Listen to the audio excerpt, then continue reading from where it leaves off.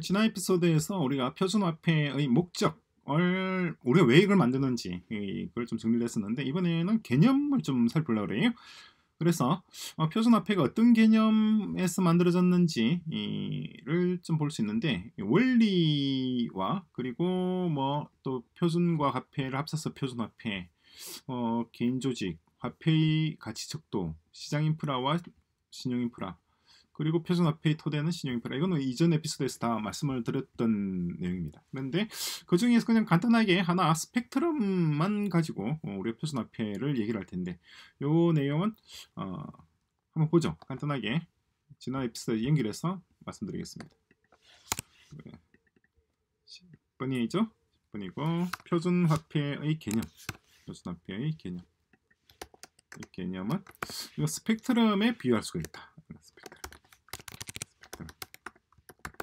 이 무슨 말이냐니까 표준 앞에는 우리가 T1과 T2 그리고 T3 이 세 가지 종류를 만들어냅니다. 만들었는데 이 표준 앞의 종류는 세 가지예요. 그래서 어, T1은 어떻게 되냐니까 ABC라고 하는 말이 있고 다음에 어, 국적 화폐가 붙습니다. KRW 혹은 ABC 다음에 어, JPY 이런 식으로 되게 돼요. ABC USD라든가 ABC 다음에 NGD 뉴질랜드 달러예요. 그래서 등등등 이런 식으로 어, ABC의 대시에 국제화폐 기호 표시가 딱딱 붙는 것이 이것이 T1입니다. 이건 뭐냐니까 얘는 어, 기존의 국제화폐 기존의 국제화폐를 그냥 그대로 암호화폐로 지원하는 겁니다. 국적 화폐의 화폐에 1대1로 대응합니다. 로 대응하는 암호화폐. 이걸 왜 이렇게 하느냐? 왜 이렇게 할까요? 예를 들어서 ABC KRW 볼까요? 기존의 한국 원화 있을 거 아니에요? 한국의 원화 KRW를 쓰는 경우와 KRW죠. 쓰는 경우와 ABC KRW 쓰는 경우 두 개의 차이점이 있을 거 아니에요? 어떤 차이점이 있느냐는 겁니다. 그죠? 지금 우리가 쓰고 있는 것이 한국 원화를 쓰고 있습니다. 근데 ABC 이것을 우리가 ABC KRW로 하는 어, 표준화폐 T1이죠. T1 형태로 바꿔서 쓰게 되면은 그러면 우리가 누릴 수 있는 효용이 무엇이냐? 그죠? 그는 누가 언제 어디서 무엇을 얼마나 샀는지 혹은 팔았는지 에 관한 실시간 통계 데이터를 도출할 수 있습니다. 실시간 통계 데이터. 이 무슨 말이냐니까 기존의 통계층 있을 거 아니에요. 기존의 통계층보다 층보다 아, 천배점 우수한 천배점 우수한 무인 통계층이 만들어집니다. 통계층이 만들어져요.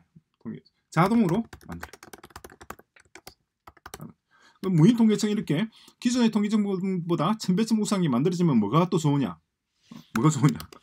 모든 게 달라집니다. 국가의 정책의 입안, 결정, 집행, 어, 효과, 어, 다음에 뭐 피드백 등등에 대한 모든 프로세스가 프로세스가 달라집니다. 그게 우리가 국제화폐를 ABC KRW로 바꾸는데 첫 번째 효용입니다.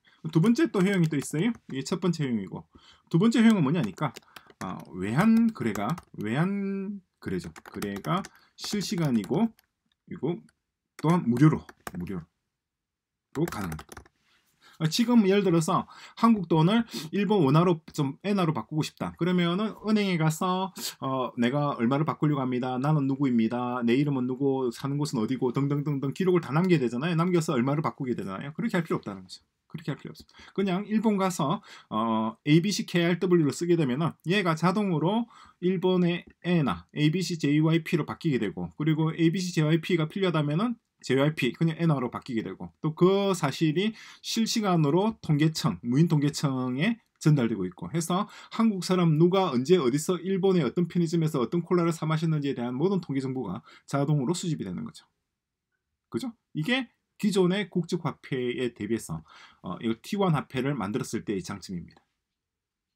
이해되시죠? 자 그러면 T2 화폐와 T3 화폐는 뭔지 이것도 좀 살펴야 될 거 아니에요? 어쨌거나 T1과 T2, T3 이 세 가지가 표준 화폐의 세 가지 형태이고 세 가지 형태가 각각의 만들어지는 방식도 다르고 용도도 다르고 효과도 다르고 명칭도 달라요. 일단 첫 번째 T1은 ABC 더하기 국적 화폐 명칭이라는 거. 요 점을 짚고 다음 에피소드 넘어갈게요.